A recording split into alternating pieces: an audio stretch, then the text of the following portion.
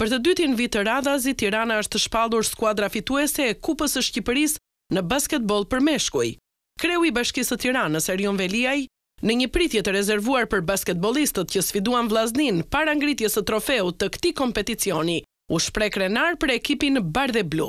Profe, jam shumë krenar për ty Red dhe gjithë skuadrës, jo vetëm skuadrës që është këtu që luan me top dhe skuadrës që bën tifozerinë edhe fanatikët edhe të gjithë ata që japin mbështetje me kaq shumë dashuri një skuadre të tërë. Janë edhe ata që punojnë prapa skenës, ata që janë mjekët, ata që janë drejtorët e, e klubit, e vlerësoj jashtë mase. Dhe fakti që kemi sjellë një kupë në Tiranë do të thotë që nëse vendos jo vetëm zemrën, po dhe paratë, se është ajo shprehja amerikane që thotë you put your money where your mouth is.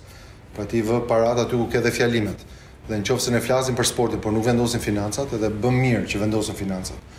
Jo vetëm për të rregulluar Farie Hotin, por për t'i dhënë gjithë skuadrës sonë mjetet. Skuadra është vetëm, jo vetëm skuadra e çunave, kemi skuadrën e gocave, pastaj kemi ekipet e volejbollit edhe shumë tjera. Kështu që fakti që çdo para e investuar në sport prodhon shumëfish, jo vetëm për Kupën, se patjetër që kjo do jetë në një stendë Po prodhon djem dhe vajza të rinj që thonë ej, duhet të bëhem si këta, duhet të bëhem si Eldi, duhet të bëhem si të tjerë dhe shofin një model në shoqëri.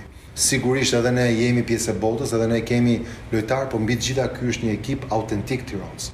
Edhe për këtë jam jam shumë mirënjohës, edhe ju vlerësoj jashtë mase. Mezi pres të sillni dhe kupën e e kampionatit, kështu që ju uroj shumë sukses. Kapiteni Redi Vogli dhe trajneri Erkand Karaj falënderuan kryetarin e bashkisë për gjithçka po bën për sportin bardheblu, veçanërisht basketbollin.